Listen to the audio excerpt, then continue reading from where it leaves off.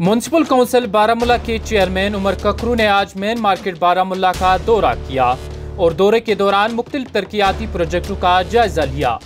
जायजे के दौरान आम दुकानदारों के साथ साथ आम लोगों के लिए बुनियादी सहूलियात की दस्तियाबी और रोज़मर्रा की मुश्किल और इन मुश्किल के हवाले से अजाला किए जाने पर गुरखोज किया गया और आम लोगों को भरोसा दिया कि आने वाले वक्त में बारामूला में कुछ अहम प्रोजेक्ट्स का संगी बुनियाद रखने जा रहे हैं। जिसमें बारामूला में मल्टी कार पार्किंग सरफरिस्त है। इस मौके पर उनके हमरा A C R Baramulla, Mumtaz Ahmad और पुलिस महकमे के काबिल ऑफिसर अल्ताफ खान भी मौजूद थे। Municipal council chairman Baramulla Umar Kakroo ने कश्मीर क्राउन से बात करते हुए क्या कुछ कहा? आइए सुनते हैं। देखिए, मैं आपको बताऊँ कि जो आज हमने यहाँ जॉइंट विज़िट किया मेरे साथ यहाँ के ए सी आर साहब थे, यहाँ के D S P headquarter थे और हमारे एग्जन थे और मेरी पूरी टीम थी।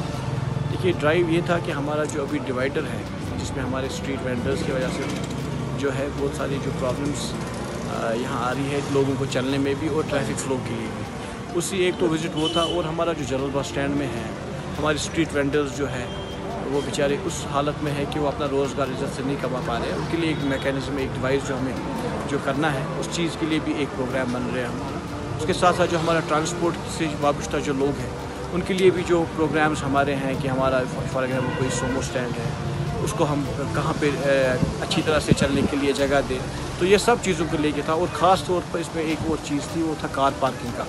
क्योंकि कार पार्किंग आपको मालूम है 2020 में मेरे टाइम ही एल डी साहब ने फाउंडेशन किया, उसके बाद आज के दिन तक तो नहीं हुआ, लेकिन आज डिस्ट्रिक्ट एडमिनिस्ट्रेशन की तरफ़ से भी हम भी इकट्ठे जॉइंटली हमने कुछ ना कोई इकदाम उठाए हैं और इसका रिज़ल्ट आप इन बहुत जल्द देखेंगे। और जैसे कि आप बात कर रहे थे क्लॉक टावर बारामूला में पहली बार क्लॉक टावर की बात उठी है और उसके साथ साथ मल्टी कार पार्किंग जो कि काफ़ी ज़्यादा लोगों को दिक्कत हो रही है कार पार्किंग के हवाले से।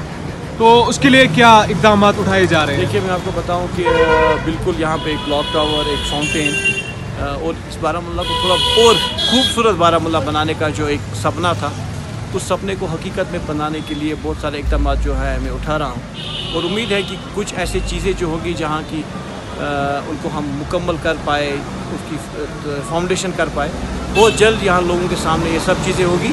और जिस चीज़ के लिए मैंने ये इलेक्शन लड़ा था और जिस चीज़ का मैंने अपने वादा बंद था लोगों से, जल्दी आप देखेंगे कि वो सब चीज़ें जो है प्रैक्टिकली वो चीज़ें ग्राउंड लेवल पर हो रही है। चलिए, आपका बहुत बहुत शुक्रिया। अच्छा मुस्तकबिल बनाना सबका सपना होता है। इसीलिए बेहतर शिक्षा और बेहतर मुस्तकबिल के लिए चुनिए Desh Bhagat university centre of excellence Srinagar. जहाँ आपको BSc medical lab BSc operation theatre BSc anaesthesia BSc radiology BSc physiotherapy BBA BCA BA MCA MSc OTT MSc RIT MSc MLT MPT जैसे प्रोफेशनल कोर्सेज स्कॉलरशिप के साथ करने की opportunity मिल रही है। Registration करने की लास्ट डेट इकतीस अगस्त 2023 है। आज ही अप्लाई करने के लिए www.dbucoe.com पर रजिस्ट्रेशन करें। Desh Bhagat university centre of excellence Lawaypora, Srinagar. Contact us on nine four one nine two three four double five nine और nine six eight two six double six three two nine